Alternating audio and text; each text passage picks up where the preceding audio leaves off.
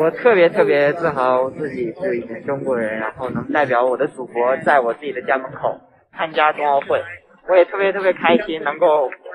站上领奖台。我做到了，我真的把这个这面国旗披到我身后，然后站在奥运会的领奖台的时候，那一刻，我也不知道怎么表达，因为这个感觉我从来从来都没有感受过，但是我特别特别自豪，也是我第一次完成这个大跳台的一些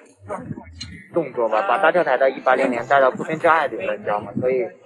对我来说还是一个挺大的挑战，但是很开心呢，今年完成这条动作。对我来说没有没有任何变化，因为我的。目标就是完成最好的那一套动作，而且在比赛没结束那一刻，你永远不知道会发生什么。所以呢，